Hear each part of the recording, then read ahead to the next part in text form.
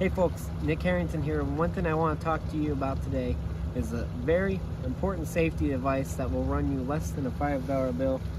This would be your kill switch. So, how this works is the kill switch connects to this red button back here.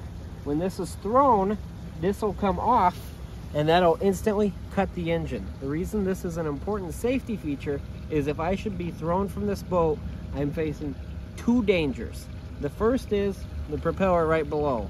This is rotating very quickly and very sharp.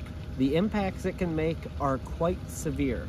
Secondly, even if I am fortunate enough to stay away from the propeller, even if I go in, I still cannot get to my boat because it's likely moving away from where I am, likely without anyone at control.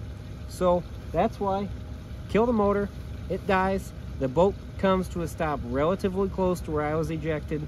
I, one, am much safer from the propeller, and two, are more likely to be able to get back into the boat should I be able to swim and get back to where that vessel is. Stay safe and good fishing.